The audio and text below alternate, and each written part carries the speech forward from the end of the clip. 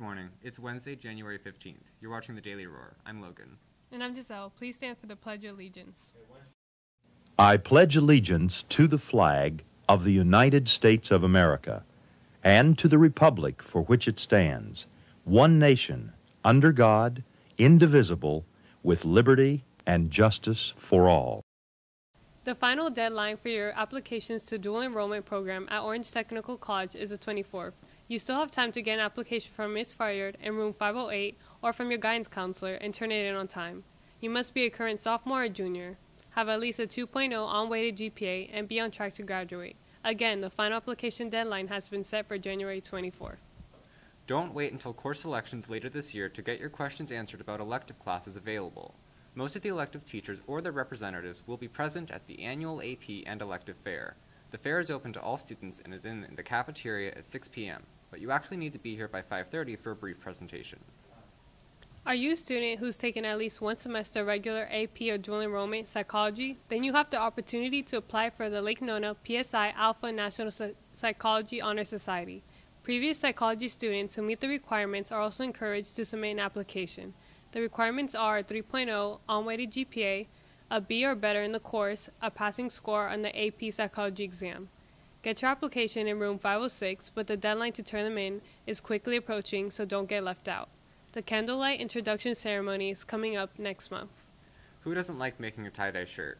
National Art Honor Society knows that, so they're having a tie-dye party. Bring a white cotton t-shirt and 5 bucks to the event on February 12th to get your tie-dye on.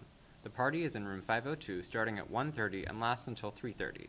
Email Mrs. Masoni at sabrina.masoni at ocps.net for more details.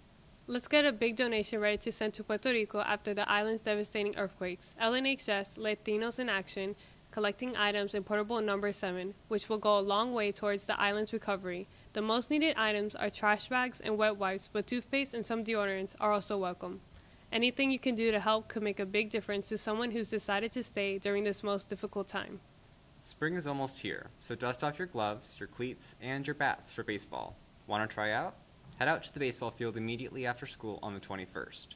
You, to try out, you must have an up-to-date school physical and bring a copy of your EMT card from the trainer, Mrs. O'Neill. Appropriate baseball gear is also required, including proper pants, along with turf or tennis shoes. Any questions, and you should see Coach Durbin in room 669. Water polo season is just days away.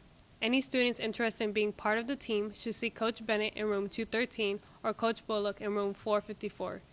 Seek them out before school, during lunch, or after school.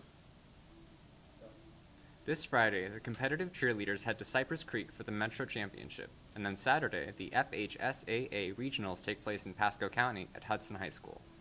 A win there will qualify our teams for the competitive cheerleading state championship. These athletes have been practicing incredibly hard, so in class, in the hallway, in the cafeteria, or on social media, wish them the best of luck in bringing home some wins.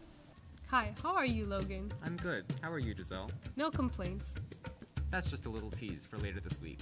We'll tell you more about how a friendly exchange just like that can raise awareness about an issue that affects millions here in America. Okay, I'm Logan. And I'm Giselle. Have a great day, Lions. Hi.